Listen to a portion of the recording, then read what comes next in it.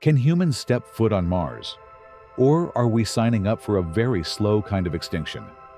Hold tight. This isn't just exploration. It's an extreme survival experiment. If you think Mars is a red neighbor, think again. It's a hostile world that will test every lifeline we bring. Mars's air is essentially a whisper compared to Earth's. The surface pressure is barely a fraction of ours, and the atmosphere is mostly CO2. That means no casual walks, no breathing without a suit, and no easy protection from the elements. NASA measurements put the average surface pressure at only a few millibars, less than 1% of Earth's at sea level. The cold and the dust temperatures on Mars dive to extremes, plunging to well below what you'd find in Earth's coldest places.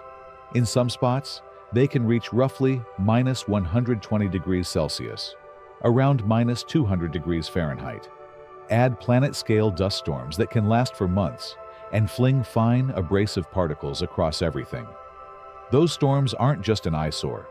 They can foul hardware, block sunlight, and coat habitats. Radiation. Outside Earth's protective magnetic bubble, radiation is a silent predator. Galactic cosmic rays and solar particle events penetrate spacecraft and tissue, increasing lifetime cancer risk and causing nervous system and other long-term effects.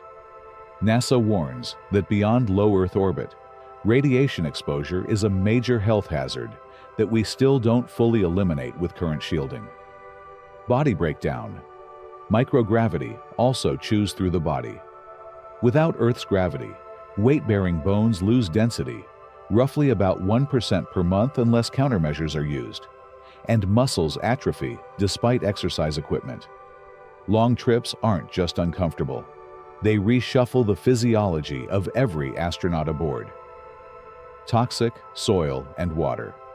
Martian water exists, mostly frozen or bound in subsurface ice. But the regolith carries toxic chemicals like perchlorates that can harm humans and plants. Turning local resources into fuel or drinking water, ISRU, is theoretically possible, but it's technically demanding and must deal with contamination risks. Starship and timelines. SpaceX's plan. Multiple uncrewed Starship flights to scout and test entry landing, followed by crewed flights, is the boldest bet on a short timeline.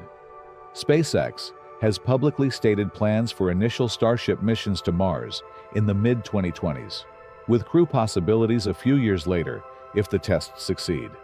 But rocket development is iterative, Delays, failures, and redesigns can push dates back. The mission reality, check. A Mars mission is a chain. Launch windows open only every approximately 26 months. ISRU must work reliably to refuel a return vehicle. Habitats must shield people from radiation and dust. And the crew must survive months of isolation, psychologically and physically.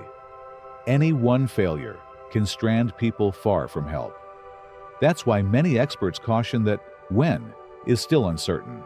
Ambitious projections exist, but conservative estimates put crewed missions later, if technical and human factor challenges are solved. Human costs and hopes. So yes, we can likely land humans on Mars in principle, but can isn't the same as safe. Expect real risks, increased cancer risk, long-term bone and muscle loss, psychological strain from months in cramped, high-stress environments, and the possibility of life-threatening equipment failures on the surface. At the same time, technologies like advanced shielding, evolved exercise countermeasures, and ISRU, making methane and oxygen from local CO2 and water, offer credible paths forward, if they're fully proven before we commit people.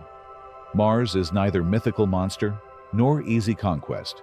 It's an engineering and human challenge layered with danger.